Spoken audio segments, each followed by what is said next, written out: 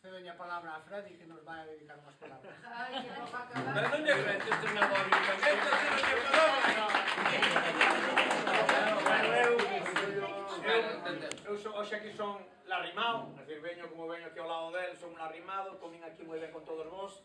O que vos podo decir que como Concelleiro de Deportes do Concello do Grove, pois é un orgullo que non só teñamos por si sí, grandes entidades deportivas, sino que tamén hai, neste caso, asociacións que apoyamos os clubes, as entidades neste caso unha, unha asociación que non é que directamente apoie, apoie a, a, un, a un club do Grove, apoiadas unha institución como é o Barcelona, donde pois algún día teremos algún xogador do Grove pois que xa capaz de meterlle seis ao Madrid. Home, diolo, home.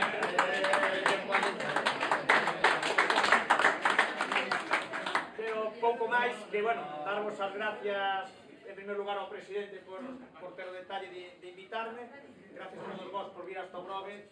Esperemos que po ano, pois, a parte dos que estades aquí de diferentes peñas, pois, tamén do Grove hai a máis xente, que eu sei que Carlos neste tema pois, é moi cabezón, non o ten en grande, pero si sí en traballo, e vai conseguir po ano pois, ter máis socios, máis xuventude, máis xente veterana e que sigamos apoiando aquí neste caso o Barcelona, non vou soltar un Isca Barça, ainda que soltín, pero bueno, E disfrutín moito o outro día cando foron os cinco, é dicir, non dicir que non son malos. Ah,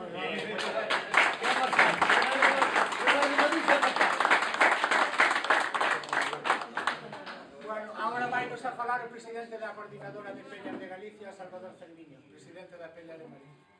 Gracias, Carlos. Bueno, nada, eu só decirvos que 14 anos fai a Peña do Grove, eh, os de, a Peña de Marín suele acudir a, regularmente a casi todos os actos da Peña do Grove, este é un máis. Neste teño o honor, porque hai que dicir que é un honor, que o Barça quiso que fora eu que o representara. E claro, como estamos tan afeitos durante tantos anos ao ir iso de que é difícil ser barcelonista a tantos kilómetros de Cataluña, decíame antes Carlos que a ver que no di este ano, non? como non veo nadie dali, igual igual había que decirlo, aunque sea medio de broma, dito está, non?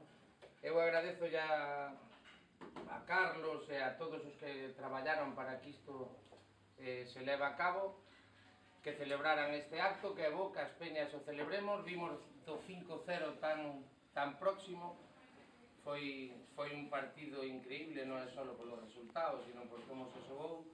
Creo que vivimos unha etapa que Caldera Neno eh, e, e que quen pensaba que algo así podía ser, non? Porque son tantos anos, tantas seguidas, o 2-6 foi aí nada e xa lle metemos 5 e ainda temos que ir ao Bernabéu, bueno. A veces é difícil. Bueno, nada, eu digo que hai que disfrutar do momento que vivimos, temos un gran equipo, hai que disfrutar del, aparentemente temos equipo para moito tempo, Así que visco o Barça, viscan as peñas e viscan a Peña do Grove, sobre todo que é a que está de aniversarios. Gracias.